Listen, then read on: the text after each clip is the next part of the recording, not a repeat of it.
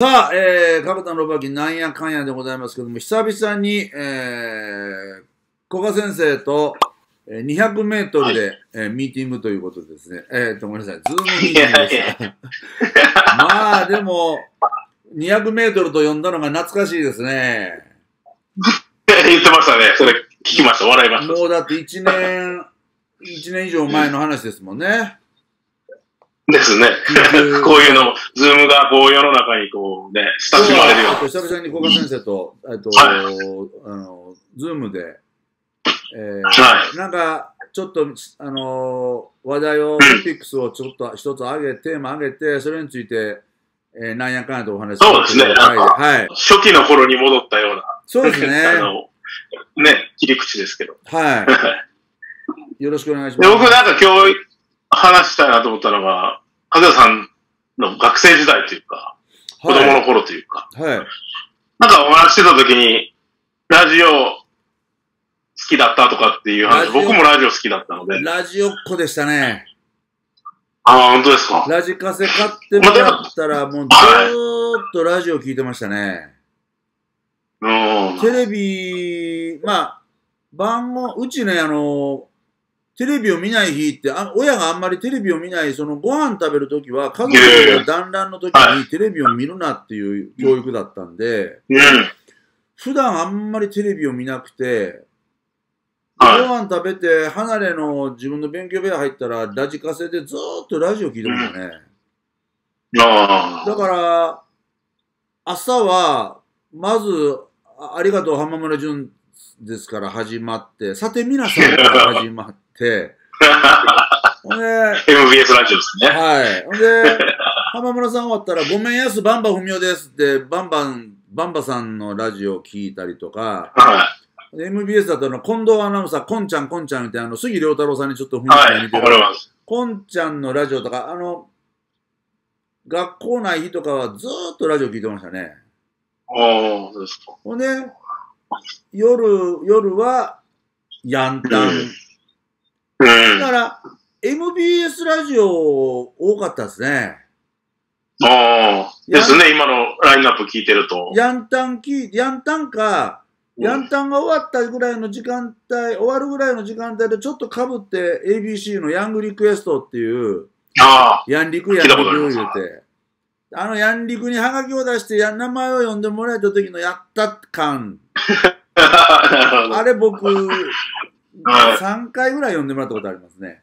本当ですか？ヤンリク。僕は中学生の頃だったんですけど、まあ、深夜ラジオを聞いてまして。はい。まあ、勉強しながらもそうですけど、まあ、小6、中1ぐらいだったので、まあ、25、6年前とかですけど、まあ、まあ、それこそ同じヤンタン、まあ、さんまさんと鶴瓶さんのやつだけは聞いてる中高ぐらいはヤンタン、ヤンリクで、ほ、うん、で、こう、大学ぐらいからですよ、オールナイトニッポンは。犯罪ブームで2ビートが出てきて、で、それが面白くて、ビートたけしのオールナイトニッポンっていうのを聞き出して、そしたら、その、いわゆるいろんなコーナーがあって、その南三橋村田デカ頭コーナーとかね。そうなんですよ。南春夫、三橋道也、村田秀夫、この演歌の大御所3人をネタにしたコーナーで、その、たけしさんが、その、あの、村田秀夫先生が、あのホテルの売店に、ホテルのあのフロントで、村田だ、キー出せっつって偉そうに言ってキーをもらって、で、その後、ホテルの売店に行って、村田だ、ガムくれっつって、いちいち村田だ、村田だって言うみたいなのをたけしさんが喋ってて、で、はい、村田村田先生は頭がでかいんで、あのー 盆踊りの時にみんなはタオルを巻いてるんだけど、村田秀夫先生はバスタオルを巻いていたとかいう話をしてたら、はい、その、いわゆるリスナーたちが、俺はこんなところで村田先生がこんな、要は村田秀夫の頭がでかい話を勝手にみんなが作り出すわけですよ。はいはい。ジャガード馬場さんがトイレにしゃがんだけど、トイレの上から髪がない捨てて、トイレといえば取ったとか、ああいう 作り話をみんながやり出して、ありますね。そうなんですよ。だからそと、その、ラジオ職人みたいなやつが出てくるわけですよ。はい。はがき職人、はがき、あの、はがき職人。で、僕が聞いてた頃のナインティナインとかでも同じような感じであります。あ、だから、あの、バンドエイジさんをいじる、そういう、勝手にいろんな面白おかしくやる。だから、あの、はがき職人の延長線上が放送作家だったりするんですよね。そうですよね。多いですもんね。だから、そうですね。僕もその中学生の時とかハガキ書いて、俺だと日本でしたけど、まあ福山雅治さん。が月月月曜日やったんですよ。深夜の1時から時間。はいで、まあ月金、まあ大概のも聞いてたんですけど、まあ、福山さん好きだったですし、あとなんかギター弾き語りしてたんで、まあ当時の僕からしたらうまいと思って、まあ今聞き返すとそうでもなかったんです。よっしゃ今の福山さんうまいですけど、94、5年の福山さん別にうまかったかなっていう、まあ今聞けばですが。へー。まあでも当時それが見本だったんで、あの誰も周りに弾ける人がいなかったんで、それ聞きながら同じように弾けたら上手なんかなっていろいろ練習してたりとかしてなて、で、はがき送ったら結構読まれたんですよ。あ、そうなんですか。で、嬉しいなって、まあもちろんあって、まあお同級生も昨日読まれてたやんみたいな、自分の本名で書いてたの。あの、はい。人気の番組でハガキの読まれる確率ってものすごいですもんね。そうなんですよ。そこでちょっとその当時思ったのは、でも番組によってう、ん。その、はがき職人たちのレベルが違うんで、ああ、なるほどな。ナインティナインティナインのは放送作家の卵みたいな人ばっかりなんで読まれないんです。なるほどな。で福山さんのはまあの、なんか福山さんのちょっと深夜のエロトークとか好きな男性とか、あとはまあ女性たくさんいるんで、え、そのまあ割とライトな。その頃の福山君ってもう今みたいなブレイクですか？90、そうですね、もうミリオンヒット出して。ただまあその大河に出たとかそういうもっと前なので、まあ、でも、そうですね、94年に初めてミリオン出したシングルがあって、あー。で、95年には、なんか180万枚ぐらい売れたハローっていう曲があったりしてたんで、まあ全然トップアーティストにはなってへるしーそはい。の高校から大学受験の時一番ラジオを聞いてて、はい。でその時に、えっと、アイドルがすごいはい。ヒットした年で、田原俊彦君とか、うん。松田聖子ちゃんとか河合直子ちゃんとかが、はバーッと一気に出た時で、い。うん。ほんで、ヤンタンが、MBS のヤンタンが終わった後に、ハンドインハンド、ラジはオスペシャルっていう、ハンドインハンドっていう番組をやってて、これも日替わりなんですよ。ほんで、火曜日が、チャゲヤスと河合直子ちゃんがやってて、い。はほんで、そこにその、河合直子とデュエットするコーナーっていうのがあって、リスナーのハガキが当たって、い。はい。で、僕そこにハガキ出したんですよ。はい。ほんで、空手の商談審査を受け、黒帯を受けるんですって、それで、うん。ぜひ河合直子ちゃんに応援してもらって黒帯を取りたいって書いたんやから、間違いなく大学1年生の時なんですよ。そはい。れでハガキを書いて送ったら、おふくろが、のぶちゃん、毎日放送から電話言うてきたから、うわー言うて、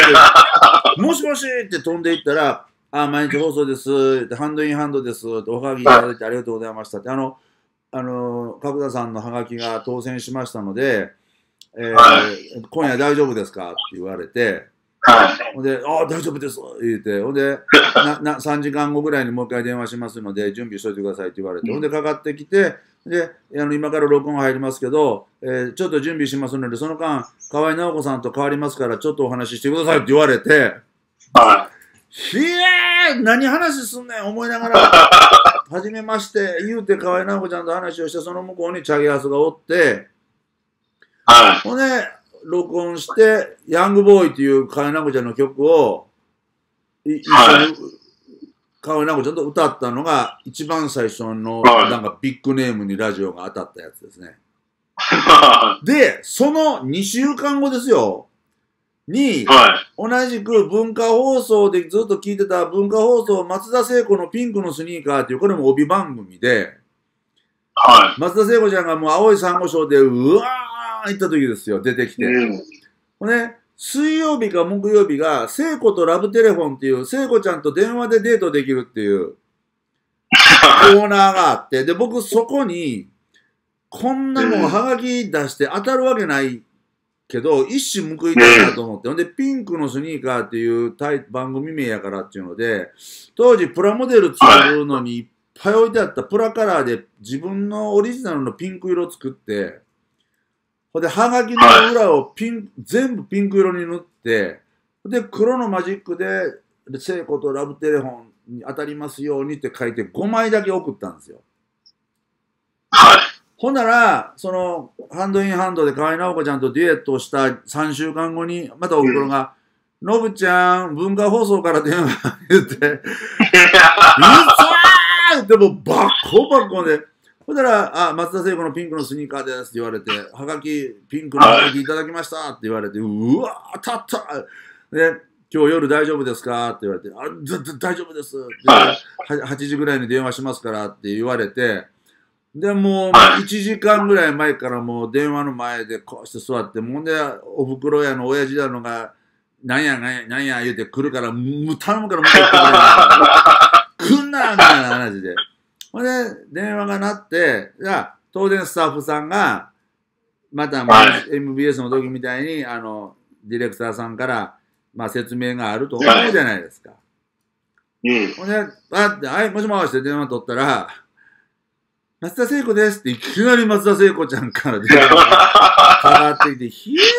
ーってなった、だから3週間ぐらいの間に、河合直子、松田聖子と僕電話で話してるんですね、あの時。めちゃくちゃレアなめ。っちゃ、だからあのところからなんか持ってるんですよ。いや、すごいと思いますね。で、その時に、かあの、チャゲアス、チャゲさんが後ろでなんか、なんか、ののぶとい声だな声、顔直ちゃんと歌うのにのぶといなとかって言ってたのが、後に、僕、チャゲさんのラジオにゲストで呼ばれた時に、その話で盛り上がりました。はい。ああ、盛り上がるでしょうね。俺はそんな昔そんなことやって、かぶちゃんそんなことやってたの？っていう話で、はなんか盛り上がっただからラジオって、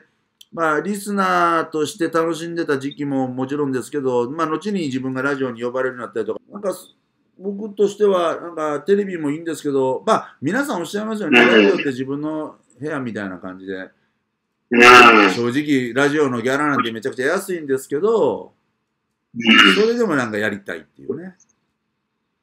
そうですね。僕もうん、それこそ、角田さんにもコメントいただいて、MBS ラジオもやらせていただいたりした時は、はい。やっぱりこう、聞いてたのが、聞いてた自分が昔あって喋る。またこう、感慨深い。感慨深いもんがありますよね。まだ先生、次回は、ちょっと別ネタでこの行きましょうか、200メートル。はい、お願いします。はい、お願いします。はい Zoom です。 Zoom でした。